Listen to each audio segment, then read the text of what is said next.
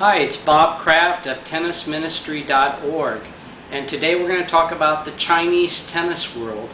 Uh, I've actually been living in mainland China full time since 1992.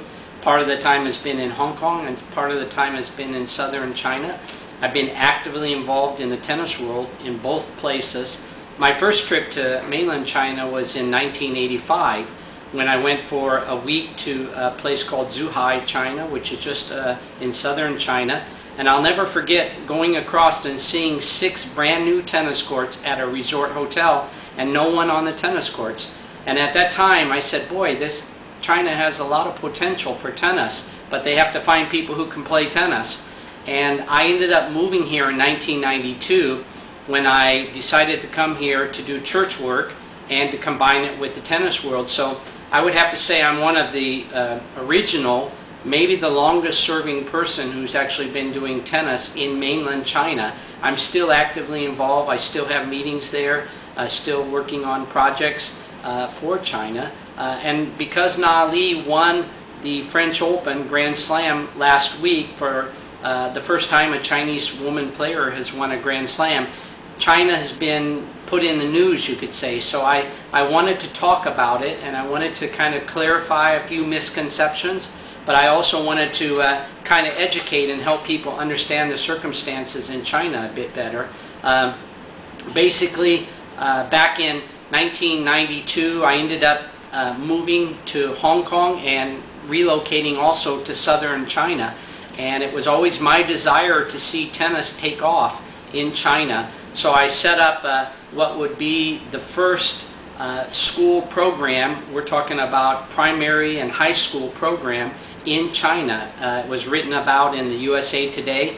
In fact, on the day that I arrived in Hong Kong, uh, Hong Kong USA Today did an article on it uh, and people were seeing my picture in the newspaper and then they would say, wow, uh, that's you on the plane and so forth. It was a very strange feeling. But the reality was uh, when I arrived in China, it was we had to start all over again. Everything was new there. Uh, the uh, people didn't really know about tennis. Uh, we didn't really have tennis courts. We didn't have equipment. Uh, the, the balls were so uh, cheaply made. They were made in China. You couldn't buy balls from manufactured in the U.S. or other countries that they would last for one set and then the ball would peel apart. And that was the equipment that we had to work with. So I was able to get Prince to donate equipment. Uh, as I remember, they donated probably about 50 rackets and cases of balls. And I started a program at a school there. Uh, we didn't have courts. I had to lay down, use volleyball nets on dirt surfaces. We used bamboo poles as the lines. We, we draw lines on the dirt if we had to. Uh, and that was our first court. We had uh, 80 people playing in that particular program, but there was no way to really get outside uh, funding for the program. I wanted to see it expanded to other schools and train uh, PE teachers to take tennis to that uh, to to the kids, and I would go to businessmen in Hong Kong, different companies, but no one really wanted to support it. And uh, so, and plus to get the equipment inside of China required going through customs, which wasn't that easy in China at that time. So that was the that was my original experiences there. And ever since that time, I've been involved in China and with tennis uh, in very various degrees. Now, I'd like to share a little bit about how the tennis was set up in China. Uh, basically, they would find uh, children who were in um, uh, poor areas of China because, uh, and then they would put them in what's called sports schools, and they focused on sports. Now, tennis wasn't by far the most popular sport. It would be it'd be table tennis or or uh, basketball, volleyball, something like that. But tennis was one of the sports in the sports school at some sports schools. And the reason that the children who were going to those schools were from the poorer uh, districts or poor areas of China is because uh, if you had money or you had a, a connections, you wouldn't send your children to learn to play sports. You'd send them to a top-rated university for an education in business or, or whatever field it was. And so that was, those were the kids that were coming up. In fact, some of the some of the students who are now uh, uh, the top players in the world came through that system. I some of them maybe they come from poorer backgrounds, and then they went into the sports school system when they were very young.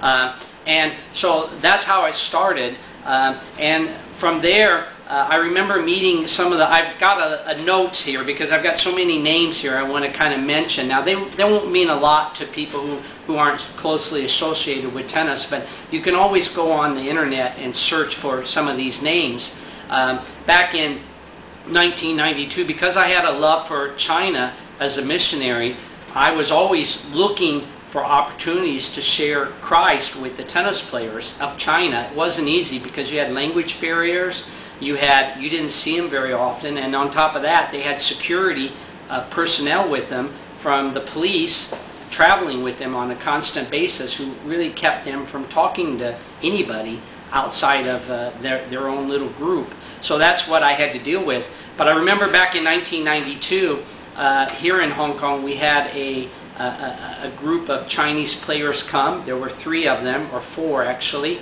uh, two women and two men. And I met them, and I sat down with them, and I started talking to them. And now they're actually uh, some of the leaders of the coaching in China. So that was a very special moment. Uh, and uh, I'd like to share a little bit, just so you know their names. One was Pan Bing. He, he, he, he received the ranking of 180 in the world in the early 90s. So he became a very good player. He was a very tall guy, a very big hitter, had a big serve. I remember him clearly, and I remember talking to him as best we could. Uh, there was Zhao Zhiping. He's now the national coach in China, and he's actually a friend. We've lost contact because we haven't seen each other for a few years. But he was the Asian number one player, and he actually played some of the uh, ATP tournaments back in the early 90s. So I got a chance to meet him, and he and I have stayed in contact uh, as we could. He's based in China, and I'm based in Hong Kong, so there's communication problems with the internet and so forth. But we've tried to stay in contact.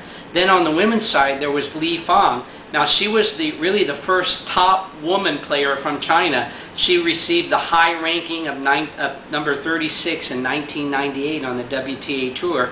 Now when I met her in uh, in the early 90s, 92, she was uh, she had just started to play at the Grand Slam events, the Australian Open in singles. Now these names are all people that have moved on and unless you know a lot about China tennis, they won't mean a whole lot to you. But again, I would encourage you to go on the internet and search for them. Then uh, Chan Li, uh, Li Ling, Chan Li Ling, she is now the national coach for China. Many of the top women players in the year 2011, she's actually had some connection with. She was the doubles player with uh, Li Fang, and she played the WTA tournament. She wasn't as good as Li Fang, but she was the number two player in China. And it turned out later, as I met, as I traveled on the pro tour and I got to meet her uh, and spend more time with her, she actually went to the Baptist uh, University in Oklahoma, and she was wearing a cross. And I asked her about it. She said, "Yeah, I, I accepted Christ." but I'm not sure how much she was able to grow because she was only there for a year or two and then she returned back to China. So I don't think there was a lot of follow-up there. But when I was on the tour, I was able to spend time with her, which was really great and enjoyed uh, encouraging her in her faith. Uh, now let's talk about uh, some more things about the early days in China. I went there and I did a, a, a coaches conference in the year 1992 or 3 was sponsored by Prince. Uh, I went there to southern China, Guangzhou, and we were able to get uh, coaches from all over China to come to this clinic. Uh, and I was able to teach them about the mental side of it and also the spiritual side of tennis, but how to improve their tennis game. So the university coaches at that time, the only people who were really playing tennis in their 1992 and 93, outside of a very few top players, were university students. There weren't courts built in the public. The universities had courts and they had time to play. So the, the kids were playing, but it wasn't a large number. I would say it was less than 500, maybe a 1,000 students were playing in China total. And then you had a very small, each university would have a tennis coach who would teach the students and they, they would have a team. So that was the very early days. There weren't players playing on a recreational level. I ended up going to the national training center indoor where they would go during the winter season because of the weather in Kunming, China, southwestern China.